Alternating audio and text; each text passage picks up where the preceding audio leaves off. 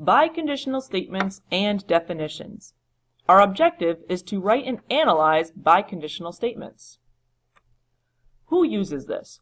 A gardener can plan the color of the hydrangeas she plants by checking the pH of the soil. When you combine a conditional statement and its converse, you create what's called a biconditional statement. That is, P if and only if Q, which means if P then Q and if Q then P at the same time. Symbolically, you would use two arrows to represent the biconditional statement. You can abbreviate if and only if to IFF. Let's look at a couple of examples. Write the conditional statement and converse within each biconditional. So let's do this first one together. So we need the conditional statement,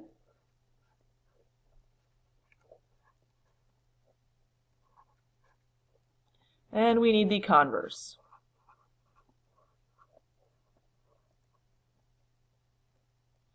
All right, so for our conditional, we simply want an if-then statement. So if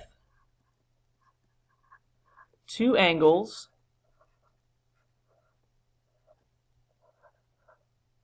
are congruent,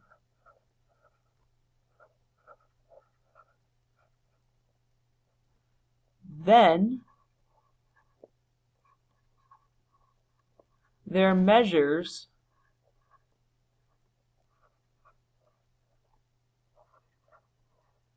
are equal. For our converse, we're going to switch our hypothesis and conclusion. Keep in mind, you don't want to put your there in the front of the sentence and then later specify what the there was.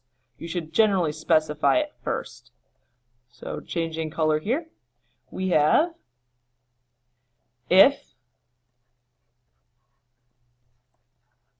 two angles.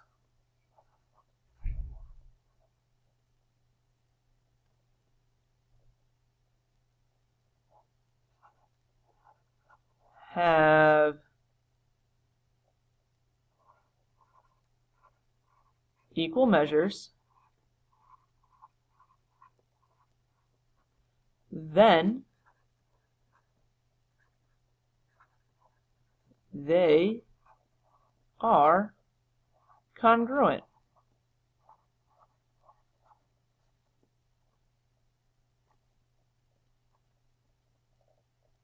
Try this next one on your own. After you've paused the video and unpause it, a solution will appear. Okay, so the biconditional stated a solution is a base if and only if it has a pH greater than 7. The conditional would be if a solution is a base, then it has a pH greater than 7. The converse would be if a solution has a pH greater than 7, then it is a base.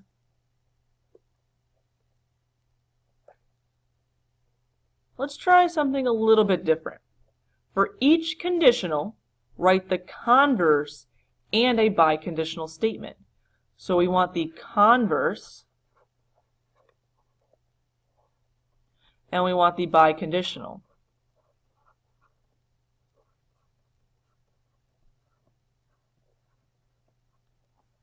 Okay, so the converse of the statement that we have here would be to flip your hypothesis and conclusion.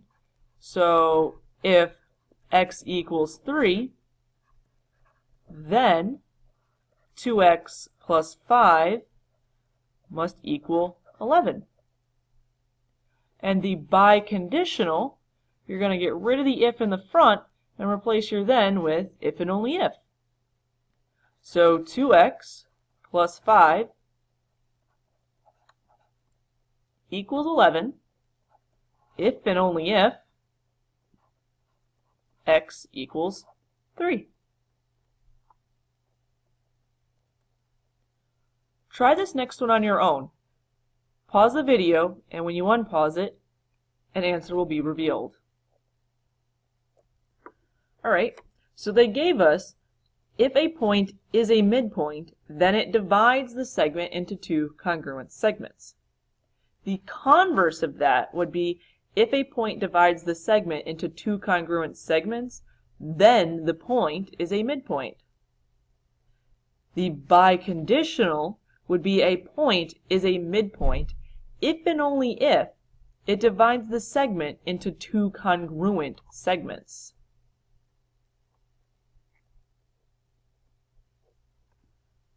Let's analyze the truth value of a biconditional statement. To determine if each biconditional is true, if it's false, give a counterexample. Now, for a biconditional statement to be true, your conditional statement and the converse of that both need to be true. So it's helpful to write out the conditional and the converse. So the conditional of the statement would be if a square has a side length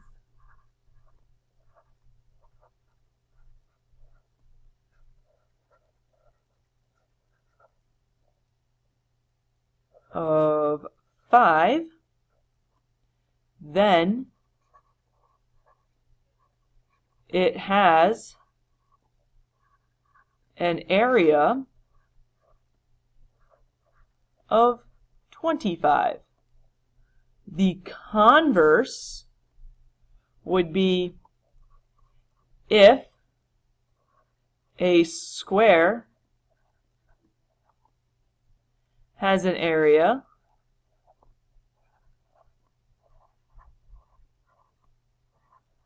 of 25, then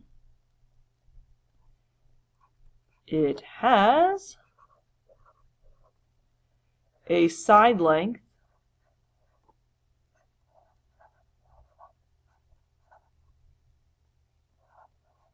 of 5. Alright, so let's look at the truth value of our conditional statement. If a square has a side length of 5, then it has an area of 25. Well, that is true. Okay, so let's look at our converse. If a square has an area of 25, then it has to have a side length of 5. Well, that is true as well. So because both the conditional and the converse are true, your biconditional is True. Okay, so try this next one on your own. Pause the video, and when you return to the video, an answer will be revealed.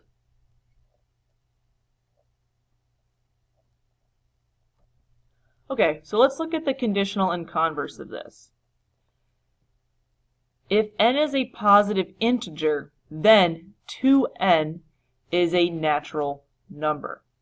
And the converse is if 2n is a natural number, then n is a positive integer.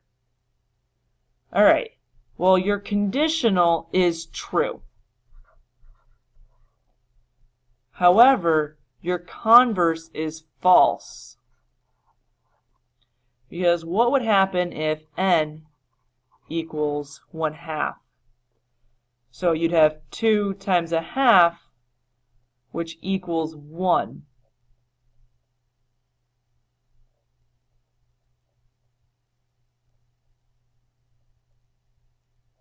And n as a half is not a positive integer. Okay, hopefully you followed that. Now, because of the fact that one is true and one is false, it doesn't matter which one, if one of them is false, then the whole thing is just going to have to be false. So this biconditional statement is false. Well, in geometry, biconditional statements are used to write definitions. A definition is a statement that describes a mathematical object and can be written as a true biconditional. Think of it this way. A good, precise definition can be used forward and backward. So let's look at some definitions. So we're going to practice writing definitions as biconditional statements. Alright, so let's do this first one. A triangle is a three-sided polygon. Well, if a figure or a figure is a triangle, if and only if it has three sides. So a figure is a triangle if and only if it has three sides or it is a three-sided polygon. Alright, well let's look at B. A segment bisector is a ray, segment, or line that divides a segment into two congruent segments. Okay, so you have a ray, segment, or line is a segment bisector if and only if it divides a segment into two congruent segments. So split your sentence into two pieces. Just like when you were writing your conditional statement, if you split it into two pieces, only instead of having an if-then statement, you write it as a biconditional. So you'd have a statement if and only if, then your conclusion. Well, that concludes our lesson on biconditional statements and definitions. If you have any further questions, ask your teacher.